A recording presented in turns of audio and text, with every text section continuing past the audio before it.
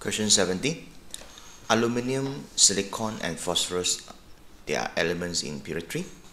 Each elements that can form oxide. So which row is correct? Mm, so first uh, we need to start with the aluminum oxide. Uh, so it's basic. Mm, so this one is wrong because aluminum oxide is amphoteric. Okay, the silicon uh, dioxide is acidic and phosphorus oxide is acidic. Right? Okay therefore A is wrong. For the aluminum oxide yes is giant ionic structure. Uh, SiO2 is a giant structure but it's not ionic. It's a giant molecular so this one's wrong.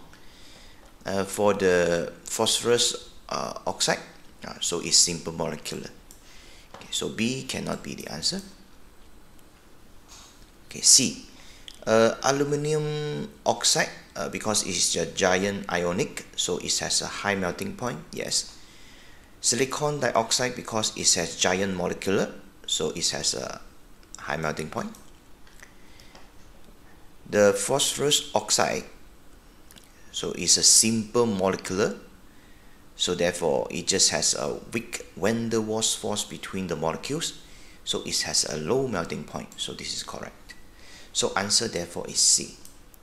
D cannot be the answer because uh, aluminum oxide uh, it will not really uh, uh dissolve in water. So there is no reaction. Um, the SiO2 also no reaction with water. Uh, the P4O10 will react with water and uh, this is the equation. Phosphorus oxide react vigorously with water form phosphoric acid. So these are the comparison uh, between the uh, the three oxides.